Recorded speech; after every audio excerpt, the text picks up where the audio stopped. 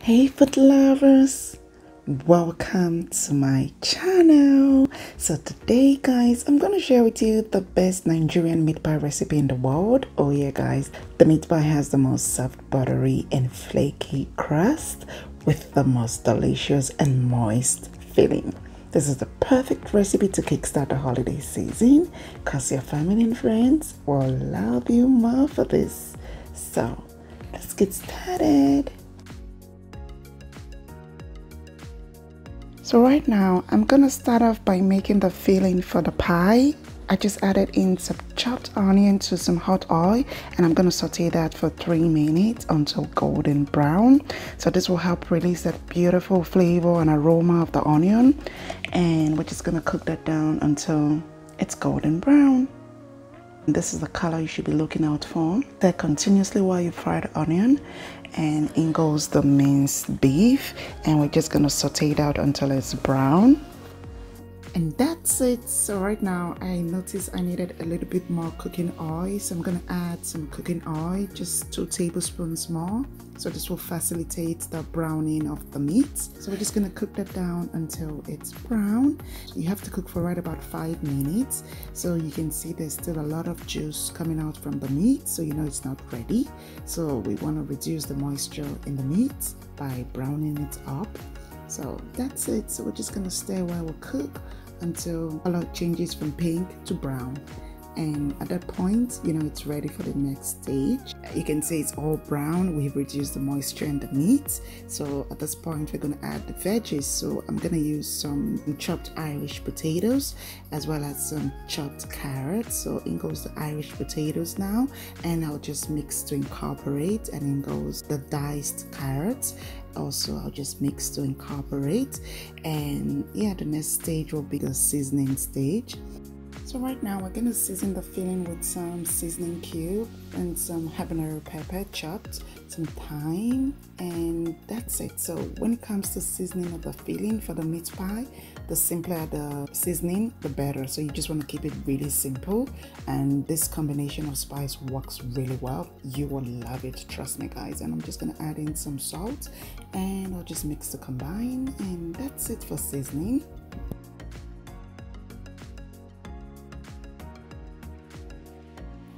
So right now we're just going to add in some flour. I'm just going to add the flour to cook for right about 30 seconds. So I do this just to incorporate it really well to prevent any form of lump.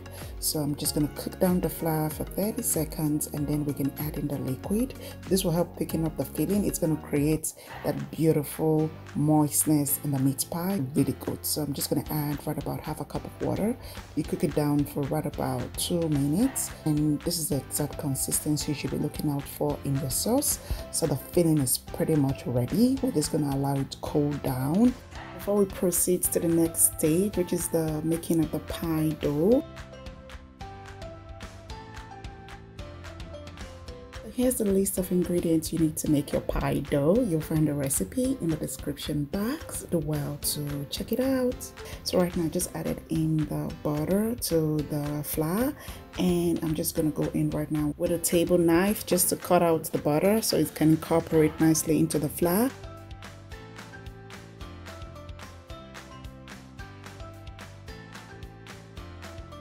And in goes some sugar baking powder and salt. And i'm just gonna go in right now with a dough cutter just to incorporate everything together. You can as well use your hand. It's still gonna turn out okay. You just mix with the tips of your finger just to incorporate the butter into the flour. And that's it so right now I'm done with the cutter. I'm just gonna go in with my hands just to ensure that the butter was well incorporated into the flour. And I just added three tablespoons of milk just to pull everything together. So guys, the beauty of this recipe is the fact that we use very little liquid. So you have very little liquid with a lot of butter just to make it really buttery and flaky. So this is gonna be the best meat pie dough you've ever had. It's so good guys. It's soft it's buttery it melts in your mouth. It's really delicious guys. You have to try the recipe. So right now i'm just gonna cover and allow it to rest for 10 minutes. So it's good practice whenever you mix your dough you let it rest for a couple of minutes just to relax the gluten in it In this case, we're working with very little liquid and a lot of butter. The gluten component of the flour is not activated, so you have that beautiful texture in your baked meat pie. So good, guys. You have to try the recipe. So I divided the dough into four equal parts and I'm gonna work with each individual portion separately. So I do this just to ensure that the dough is cold while I work with it. So if you roll out the entire dough, you stand a chance of not getting the whole meat pie from that rollout because you keep folding and rolling out. It's good practice. You cut the dough into individual portions and you work with them individually. So you just maintain the cold temperature. When making your pie it's advisable to keep everything cold. So your milk should be cold your butter should be cold right out of the fridge. The trick is butter is made up of a milk and water.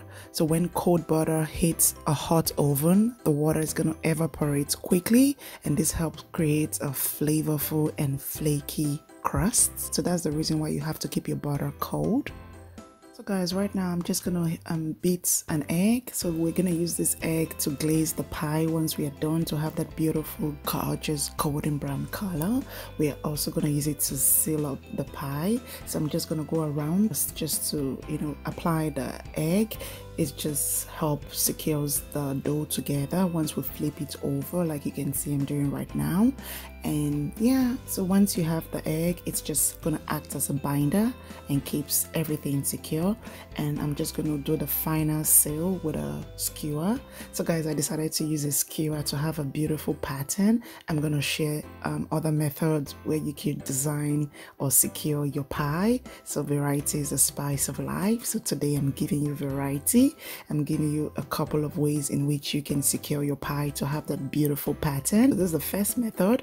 Watch out for the other two. So we're just going to secure the pie. So guys, the sequential step of how to make your meat pie once your dough is ready. You get the dough and you roll it out. I tend to like my pie not so thick, so I just roll it out to the size that I like, as you can see right now. And you cut it out with a cutter. You can use a circular plate, a dish, whatever you have at home will do. You just cut it into a round circle. You can also freestyle it with your knife. You add your filling in there. You can push it to one side and you go around with the egg to help secure once you flip over and that's it. And then you do a final seal with either you use a skewer like I did for the first method or use a fork. I need to mention this guys. You have to always apply a bit of flour to the skewer just to prevent it from sticking. So it's just going to be very effective in using this tool. So if you want to use that so if you want something special you can as well try this method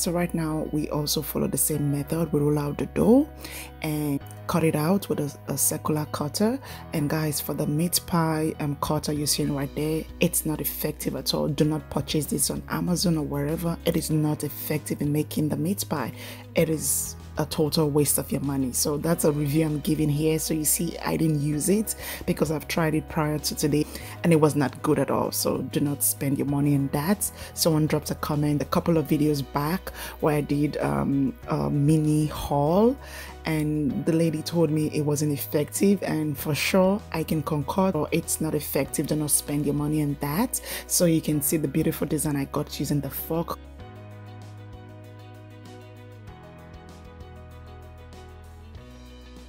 And right now I'm just gonna go in with my hand and you have different patterns. So variety like I said is the spice of life. Do you Right now I'm gonna poke holes in the meat pie with the aid of a fork so I do this just to ensure that there's a release of steam while the meat pie bakes. If the pie is not well secured and sometimes it happens, your meat pie is gonna open up while it's cooked because there's a lot of pressure inside the meat pie if you don't poke holes in the pie. So it's just good practice to poke holes to release that steam.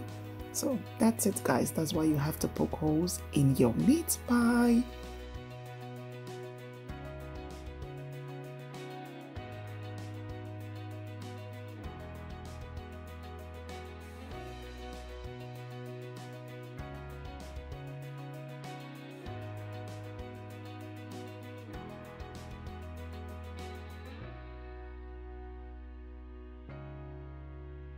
It's ready. It's ready, guys. Can you see how beautifully gorgeous and delicious this meat pie looks? I love the beautiful golden brown color.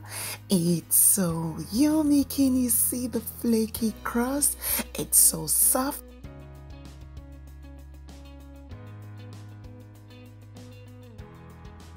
It's the taste time. Oh my gosh, can you see how easily the meat pie just breaks? It tells how soft, how flaky, how yummy the meat pie is. So guys, the, the proof of the pudding is in the eating. The breaking of this pie tells everything you need to know. This is a no-brainer guys, you have to try it.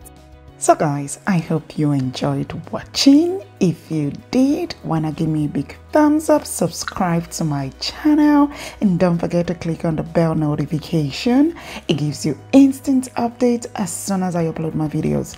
Love you so much for watching and subscribing, and I'll see you in my next one. Bye!